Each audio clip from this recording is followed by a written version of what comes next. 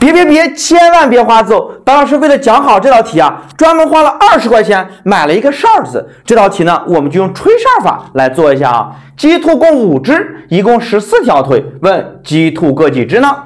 我们都知道啊，小鸡有两条腿，而兔子呢，兔子有四条腿，对不对？它们一共有十四条腿。我们假设啊，这五只动物啊，都是经过专业训练的，它们都很听话。白老师现在开始，我吹一声哨子，所有动物通通向起抬一条腿来。注意是所有动物啊。OK，我开始吹了啊。这五只动物呢，每只动物都向起抬了一条腿，不管是小鸡还是小兔，都向起抬一条腿，一共抬了五条腿嘛。因为是五只动物，对不对？我继续啊，白老师再吹声哨子。你发现这五只动物呢，又通通向起抬了一条腿。这个时候啊，又抬了五条腿。你会发现，小鸡本来就两条腿，它抬了两次腿，小鸡就没有腿了。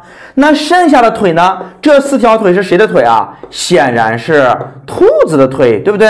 每只兔子有四条腿，它抬了两次腿，是不是还剩两条啊？我们打三角形，每只兔子还剩两条，一共还剩四条。相除有两只兔子，那么小鸡呢？五减去二等于三只小鸡。你学会了吗？关注我，玩转数学。